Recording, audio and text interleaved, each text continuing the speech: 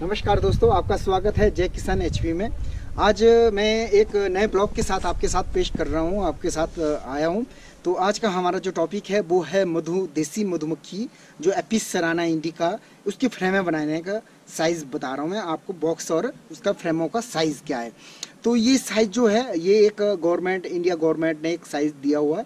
उस गौर साइज़ को हम सब फॉलो करते हैं, जितने भी किसान हैं या मधुमक्खी वाले तो इसका एक फ़ायदा ये होता है कि आप अगर एक बॉक्स से फ्रेम को निकाल करके दूसरी बॉक्स में डालते हैं तो फ्रेमों का साइज़ एक बराबर होगा और आप अगर बाय द वे आपके पास 100 बॉक्स हैं तो एक बॉक्स का, आप पहले एक नंबर बॉक्स का फ्रेम निकाल करके अगर आप 100 बॉक्स जो 100 नंबर वाले बॉक्स में अगर फ्रेम डालेंगे तो वो आपका सेम हो। तो ये साइज़ जो गवर्नमेंट का है, मैं उस बारे में आपके साथ बात करता हूँ। तो प्लीज़ जो मेरे यूट्यूब चैनल पर नए आए हुए हैं तो प्लीज़ वो मेरे यूट्यूब चैनल को सब्सक्राइब करें बेल आइकन दबाएँ और लाइक ज़रूर करें दोस्तों। दोस्तों, हमें जो मधुमक्खी बॉक्स के लिए हमें चाहिए जो सामान सामान, मधुमक्खियों के लिए तो वो क्या क्या चीज़ है? एक तो आपको ये आप स्मोकर ये आप खुद भी बना सकते हैं। इसका बनाने का कोई बड़ा वो नहीं है, आपके पास स्प्रे का बचा हुआ डब्बे हैं, उसे इस्तेमाल कर सकते हैं, आप इस तरह बना सकते हैं, ये स्मोकर है। हमारे कई मित्रों ने मुझे एक मित्र ने बताया कि उसने कंप्यूटर के एक फ़ैन लगा करके उसने एक, उससे स्मोकर बना दिया तो बहुत अच्छे अच्छे कलाकार भी हमारे बीच में वो जुगाड़ करने वाले हैं। तो तो वैसे ही ये जुगाड़ आप बना सकते हैं, खुद ही इसे रबड़ इस्तेमाल करके, लकड़ी के दो पीस लगा करके, उसमें होल करके, एक आपका स्मोकर बन गया। आपको ग्लव्स वो आपको मार्केट में मिल जाएँगे। कैप ये आपको आ, अगर आपको चाहिए तो आप अमेजोन से मंगवा सकते हैं या आप किसी मधुमक्खी वालों से भी मंगवा सकते हैं या खुद भी जुगाड़ कर सकते हैं। आप एक टोपी लगाओ और जो जाली वाले दुपट्टे वगैरह हैं उसे आप इस तरह करके एक नीचे रिंग लगा करके उसे कपड़ा बना करके आप इस तरह इस्तेमाल कर सकते हैं। एक आप जुगाड़ कर सकते हैं खुद भी बना सकते हैं इससे कोई बड़ी बात नहीं है। ये आपका ब्रश हो गया। जब भी आप मधुमक्खियों को फ्रेमों को शहद के लिए निकालना होगा तो आप इससे ये साफ़ करने के लिए, या आपने कहीं से उठाना है तो आप उसे भी आप उठा सकते हैं। उसके लिए ये चाहिए आपको ब्रश, ये आपको चाकू चाकू आपको जैसे सफ़ाई करनी है, या शहद निकालना है, या फ्रेमों को काटना है, कुछ भी उसके लिए एक चाकू। ये हाइप टूल। हाइप टूल आपका जैसे आप दो फ्रेम है, आपको दो फ्रेमों को बीच में डाल करके उन्हें वो करने के लिए आपको सफ़ाई करने के लिए, जैसे ऊपर आप, अगर आप साइड में कोई बॉक्स वगैरह की सफ़ाई उसके लिए हाइप टूल तो ये चीज़ चाहिए और दोस्तों, ये जुगाड़ मेरा है क्वीन गेट ये मैंने खुद तैयार किया हुआ है। तो ये क्वीन गेट के लिए मैंने एक वीडियो बनाई हुई। अगर किसी मित्र को इसका वीडियो देखना है तो प्लीज़ वो ऊपर गोलू जो रिंग आया हुआ, इसे आप क्लिक करके इसे आप देख सकते हैं और यहाँ से आपको इसकी वीडियो मिल जाएगी। तो ये आप अपना किसी भी मधुमक्खी मक्खी वालों, मित्रों से लेके रखें। मैंने कुछ शीटें लेके रखी हुई हैं। अब मैं इसे वैसे ही काटता, काट करके वैसे ही फिट करता हूँ। जैसे मैंने ये बताया था आपको, ये बताया, आप ऐसे करेंगे, इससे क्या होगा कि मधुमक्खी इसमें बैठेगी, वो सेल खुद बनाएगी और वो काम अच्छी तरह करेगी। तो आप इन चीज़ों को अपने पास इस्तेमाल करें और इन चीज़ों का उपयोग करें। तो मधुमक्खी आएगी और सीज़न आपका सेब का शुरू हो चुका है। तो इसका कार्य आप जोरों ज़ोरों से शुरू करें। आ, तो चलते हैं आज शुरू करते हैं आज का कार्य। तो मैं पहले तो आपको आ, मैं बना ही रहा हूँ। आजकल सभी को पता है कि मधुमक्खियों का आना क्या भक्त है? बसंत जैसे ही शुरू हो जाती तो मधुमक्खियाँ आने शुरू हो जाती हैं। ये आप देख सकते हैं। ये इसका साइज़ है। तो इसके दोस्तों, ये जो लंबाई हमने रखी हुई है, जो आईएसआई जो गवर्नमेंट, इंडिया गवर्नमेंट ने इसका साइज़ रखा हुआ, वो है इसकी लंबाई है तेरह इंच तेरह इंच ये तेरह इंच है और सेंटीमीटर में आता है तैतीस सेंटीमीटर। तैतीस सेंटीमीटर, लंबाई में तैतीस सेंटीमीटर बोलो आप चाहे, और अगर इंच में बोलेंगे हम तो तेरह इंच तो ये चौड़ाई आती है इसकी जो है, ये चौड़ाई जो आती है, ये है इसका साढ़े सात इंच। साढ़े सात इंच। और अगर सेंटीमीटर में हम करेंगे तो यहाँ से इसका उन्नीस सेंटीमीटर। अगर इंच में करेंगे तो साढ़े सात इंच, और सेंटीमीटर में करेंगे तो उन्नीस उन्नीस सेंटीमीटर। और अब बात करते हैं हम नीचे वाले। तो इसकी इसकी जो चौड़ाई है तो ये हमारा आता है इसमें साढ़े ग्यारह इंच है, इंच। यहाँ से यहाँ तक का साढ़े ग्यारह इंच। और सेंटीमीटर में बोलेंगे तो उनतीस सेंटीमीटर उनतीस सेंटीमीटर। और इसका जो हमारी चौड़ाई है, इसका जो चौड़ाई आएगा, वो आएगा इसका पच्चीस एम एम ढाई सेंटीमीटर पच्चीस एम एम और जो अब आता है इसकी खासकर जो ये चौड़ाई है, ये खासियत ये है कि आप जब भी आप दो फ्रेम में आपकी फिट होगी तो उसका एक बीच का एक गैप रहेगा, ताकि मधुमक्खी का आपस में वो उस फ्रेम के बीच में जा सके। तो ये जो इसका जो डिस्टेंस है, ये है तीन सेंटीमीटर सवा इंच तीन सेंटीमीटर और ये आपका नीचे रहेगा आपका पौने इंच थोड़ा सा गैप ताकि मधुमक्खियाँ नीचे से आपका निकल सके। तो मैं आपको एक फ्रेम बताऊँगा। जैसे कि ये है। अगर हम इस तरह करेंगे, इस तरह करेंगे तो आपका जो मधुमक्खी का स्पेस है, एक तो इसमें भी घूमने को जगह मिलेगी और एक यहाँ स्पेस उन्हें घूमने की जगह मिल जाएगी। तो ये है। तो इसलिए आपका, ये आपका हमेशा तीन सेंटीमीटर और ये साढ़े सात इंच ये आपका तेरह इंच ये है।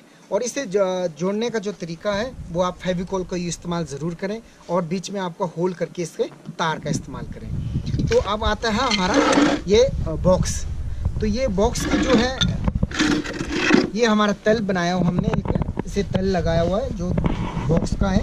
तो इसकी जो चौड़ाई रखी हुई है ये हमारी चौदह इंच है जो आ, इसका अंदर मान चौदह इंच है पूरा जो है।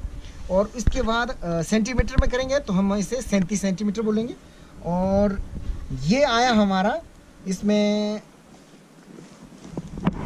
आ, ये आया चौड़ाई।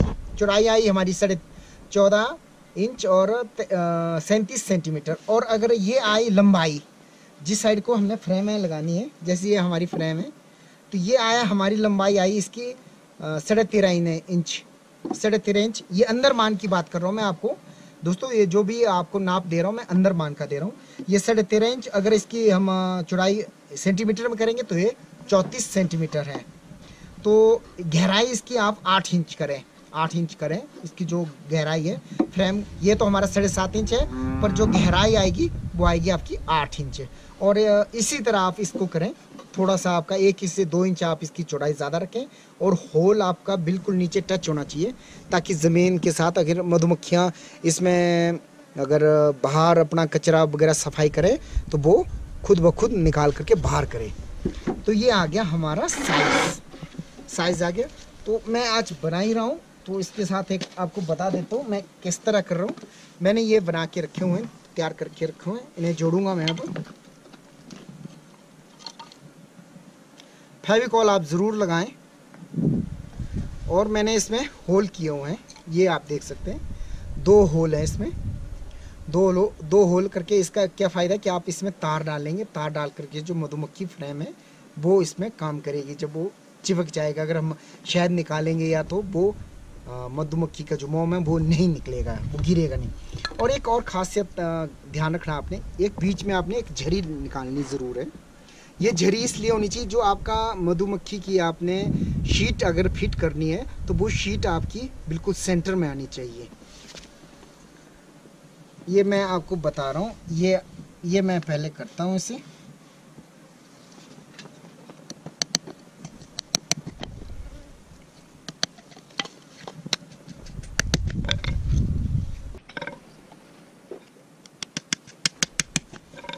ये मेरी चौकट की बन गई है। अब मैं इसे तार डालूँगा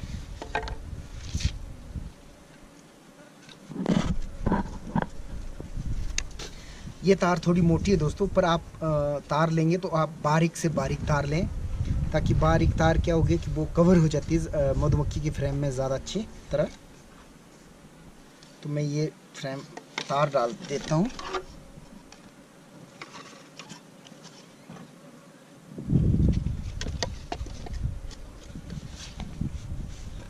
ये मैंने तार डाल दिए। अब यहाँ एक मेख लगा लेता हूँ मैं।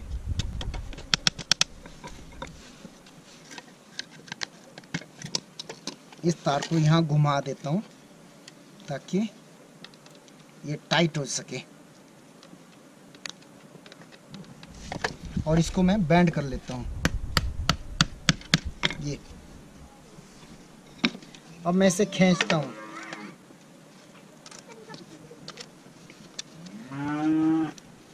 ये मैंने खींच दिया अब ये टाइट हो गया।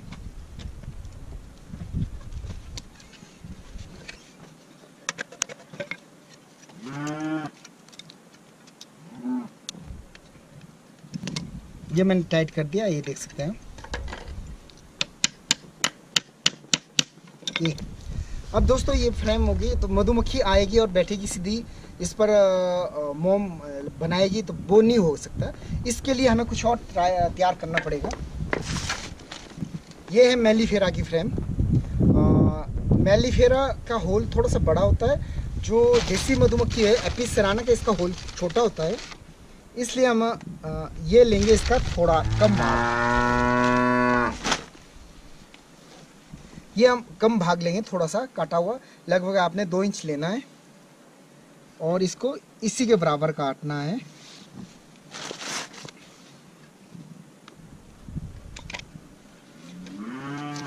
ये अब इस होल में डालना है, नीचे वाली जो होल है, इसका मधुमक्खी का, जो फ्रेम में होल है चौकट में।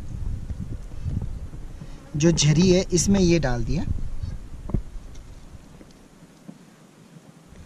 इसे डालने का एक फ़ायदा ये हो जाता कि ये चिपक जाएगा। अब क्या करूँगा मैं कि जो मधुमक्खी का मोम है, जो है बचा हुआ, इसे पिघला दूँगा, या दूसरा मोमबत्ती, जो हमारी मोमबत्ती वाला मोम होता है, उसे हम पिघला करके इसको यहाँ डाल देंगे। जब यहाँ डालेंगे तो ये इसके अंदर ये चिपक जाएगा।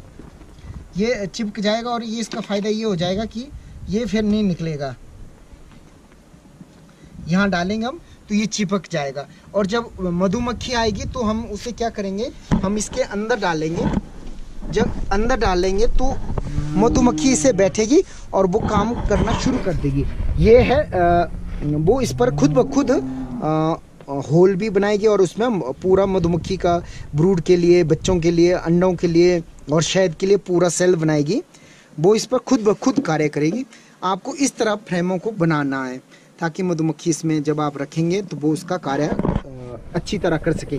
दूसरा एक तरीका ये है कि आपके जो घरों में मधुमक्खी के बॉक्स हैं, उसको आप वहाँ से मोम काट करके इसे आप यहाँ फिट कर सकते हैं। अगर आपको पता करना है तो मैंने एक, उस पर भी एक वीडियो बनाई हुई है तो आप उसे देख सकते हैं। मैं कमेंट बॉक्स में उसका लिंक दे कर रखता हूँ, आप उसे देख सकना कि जो मैंने बनाया हुआ है उसका देसी जो मधुमक्खी घरों से निकाल करके उसको मैंने किस तरह फिट किया, आप उसे वहाँ से भी देख सकते हैं।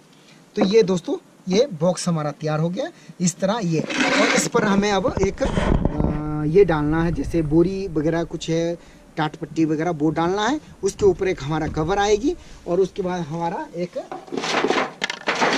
उसके बाद एक हमारा टॉप कवर आ जाएगा। टॉप कवर पर आप हमेशा उस पर आप चादर ज़रूर लगाएँ ताकि उसमें पानी ना घुसे। और ये आपका इस तरह काम करेगा। ये इस तरह काम करेगा और नीचे आपको हमेशा स्टैंड का ही इस्तेमाल करें। जैसे तीन चार चार पाँच इंच का कोई स्टैंड या लकड़ी को गाड़ करके आप उसका इस्तेमाल कर सकते हैं। इस तरह आप एक बना सकते हैं मधुमक्खी का बॉक्स तो दोस्तों, मेरी वीडियो को प्लीज़ आप लाइक करें और हमारा जो कार्य करने के जो बताने का एक मकसद था, वो यही था कि आप देसी मधुमक्खी पर जो काम करें तो वो आप किस तरह करें? और उसको बॉक्स का जो साइज़ है, वो मैंने आपको बता दिया। और मेरी वीडियो को प्लीज़ आप लाइक करें सब्सक्राइब करें और बेल आइकन ज़रूर दबाएँ। धन्यवाद।